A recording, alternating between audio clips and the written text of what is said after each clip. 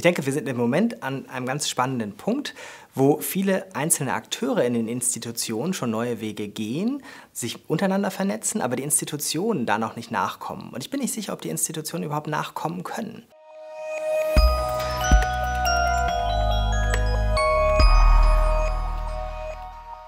Man sieht, dass die Leute, die sowas machen wollen, auch Wege dafür finden. Die schaffen sich aber ihre Infrastruktur eigentlich selbst. Die haben eigene Kanäle, auf denen sie kommunizieren, auf denen die sich vernetzen. Die benutzen Werkzeuge und Plattformen, die nicht von den Institutionen bereitgestellt werden. Um das mal ganz konkret zu sagen, die meisten Menschen, die da zusammenarbeiten, arbeiten nicht über ihre Uni-E-Mail-Adresse, sondern über ihre Google-Mail-Adresse zusammen, weil sie ganz viele Tools von Google nutzen für ihre Zusammenarbeit und nicht die Tools, die die Uni ihnen zur Verfügung gestellt hat. Und das funktioniert schon, da entstehen viele Projekte draus, das wird aber getrieben von den einzelnen Menschen, die das interessiert und nicht von den Institutionen. Ob die Institutionen das können, diesen Wandel, da bin ich nicht so sicher. Denn das Digitale hat eben eine Eigenschaft, es löst Grenzen auf.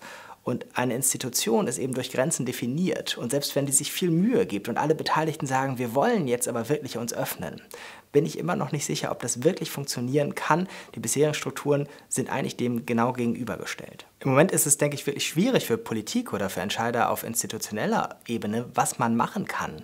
Man kann sowas wie eine Institution eben nicht so schnell umbauen, wie es der technologische Wandel im Moment vorantreibt was man machen kann, ist denen, die was machen wollen, den Freiraum geben. Zu sagen, okay, wenn ihr loslaufen wollt, geht.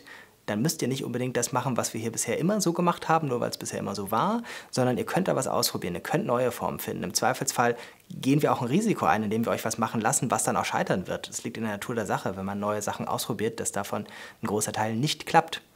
Und wenn man da Rückendeckung gibt und sagt, okay, im Zweifelsfall bin ich dafür da, dass ihr hier Sachen ausprobieren könnt, politisch oder in der Organisation, dann ist das schon mal eine große Hilfe für die, die was machen wollen. Was im Moment passiert, was im Moment passieren könnte, ich bin nicht sicher, ist, dass es eine Parallelwelt gibt in der Ausbildung, in der Hochschulwelt. Dass es die alte Welt weiterhin gibt, dass man weiter so studieren kann, wie die Institution das vorsieht, dass es aber daneben ganz viele hauptsächlich digital getriebene, vernetzte Angebote gibt, wo man Sachen nach eigenem Interesse lernen kann, nach eigenen Präferenzen lernen kann wo dann ganz häufig man auch nicht sowas wie ein Zertifikat oder Credit Points oder irgendwas dafür kriegt, sondern man kriegt das, was man eigentlich will, vom Inhalt her, von der Lernform her. Und ob diese beiden Welten weiter auseinandergehen oder tatsächlich zusammenfinden, vermag man 2015 nicht zu sagen. Mein Verdacht ist, dass sie erstmal weiter auseinandergehen werden.